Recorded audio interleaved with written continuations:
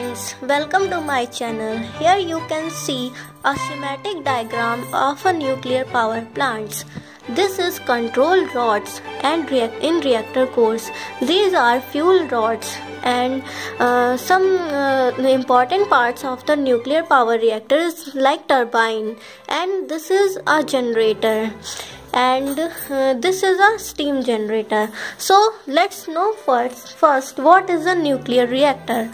A nuclear reactor is the source of intense heat which is in turn used for generation of power in nuclear power station इसका इसका मतलब हुआ कि nuclear reactor से हम पहले हीट को जनरेट करते हैं, जो हमें इलेक्ट्रिक पावर देता है, जिसको हम न्यूक्लियर पावर स्टेशन में बनाते हैं। पहला न्यूक्लियर पावर रिएक्टर अमेरिका में 1942 में बना था और इस टाइम इंडिया में almost six reactors and ten power reactors हैं।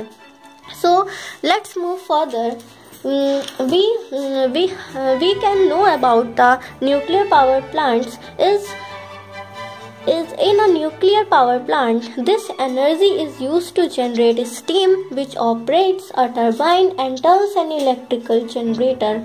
On average, each fission of a 235 uranium nucleus produces about 2.5 free neutrons. So 40% of the neutrons are needed to sustain a chain reaction. जो nuclear reactor होता है उसमें controlled chain reaction होती है तो इस reaction को होने के लिए हमें 40 परसेंट न्यूट्रॉन्स की ज़रूरत पड़ती है और एक यूरेनियम 235 2.5 फ्री न्यूट्रॉन्स प्रोड्यूस करता है। इसका हम्म, इसके आगे हम इसके बारे में जानते हैं। आ two thirty five uranium nucleus is much more likely to absorb a low energy neutron less than one electron volt than one of the high energy neutrons means one mega electron volt that are liberated during fission फिर जब uranium 35 का fission होता है तो उसमें uranium nucleus जो है, वो वन इलेक्ट्रॉन वोल्ट को एब्जॉर्व करना ज़्यादा पसंद करता है rather than one mega electron volt वाले न्यूट्रॉन को।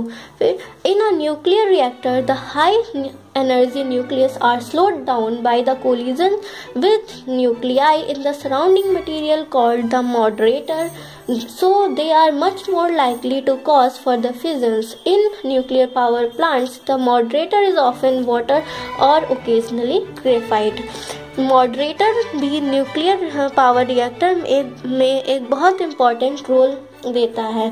मॉडरेटर क्या करता है? जो हाई एनर्जी न्यूट्रॉन्स होते हैं, उनको मॉडरेटर के न्यूक्लियाई से वो जब कोलिजन करते हैं तो वो उन उन हाई एनर्जी न्यूट्रॉन्स को स्लो कर देता है।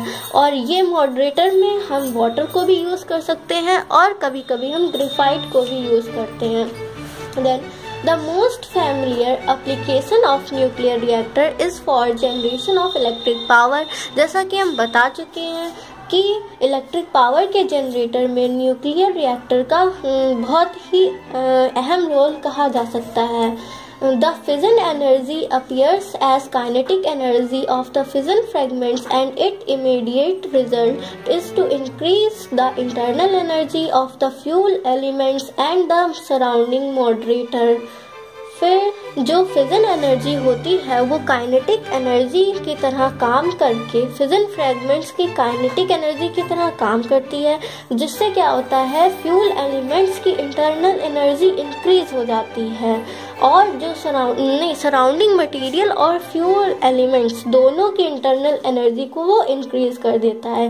This increase in internal energy is transferred as heat to generate steam to drive turbine which spin the electrical generator फिर जब इस इंटरनल एनर्जी में में ट्रांसफ़र होती है तो ये हीट को जनरेट करता है और हीट से स्टीम जनरेट होती है और स्टीम से टरबाइन काम करता है। So let's understand this theory in the chart this is reactor pressure vessel जिसमें कंट्रोल रॉड्स पड़ी हुई हैं। ये कंट्रोल रॉड्स बोरान की होती हैं और कैडमियम की होती हैं। इन कंट्रोल रॉड्स का काम होता है कि जब यूरेनियम न्यूक्लियस में फिजन होगा तो वो जो हाई एनर्जी न्यूट्रॉन होते हैं, उनको एब्जॉर्ब कर लेता है।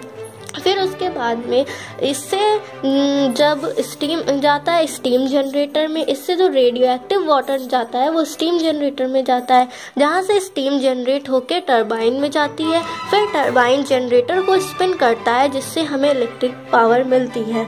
उसके बाद में तो हम धीरे से कूलेंट जो बचा होता है स्टीम कंडेंसर में, उसको भी लेके लो प्रेशर के पंप के थ्रू फिर से स्टीम जनरेटर में भेज देते हैं। और ये इसी तरीके से ये साइकिल रिपीट होती रहती है। अब हम जानेंगे कूलेंट होता क्या है। कूलेंट जो होता है, वो एक्वस सोडियम और पोटेशियम का मिक्सचर होता है। या कूलेंट में हम कभी कभी भारी जल मतलब डी को भी यूज़ करते हैं। इस इस ये जो कूलेंट होता है वो रिएक्टर के कोर के चारों ओर बनी शील्ड में नीचे से हम इसको भेजते हैं। उसके बाद ये फिजन में जो हीट होती है उसको एब्जॉर्ब करके ऊपर निकल जाता है। भारत में इलेक्ट्रिक पावर को उत्पादन करने के लिए चार मुख्य न्यूक्लियर रिएक्टर हैं जिसमें पहला है तारापुर परमाणु ऊर्जा केंद्र महाराष्ट्र जहाँ पे 420 मेगावाट का है। रा, राजा राजा प्रताप सागर परमाणु ऊर्जा केंद्र कोटा, राजस्थान, जो 430 एमडब्ल्यू का है। कलपक्कम परमाणु ऊर्जा केंद्र तमिलनाडु, जो 470 मेगावाट का है। एंड नरौरा परमाणु ऊर्जा केंद्र बुलंदशहर, यूपी 440 मेगावाट का है।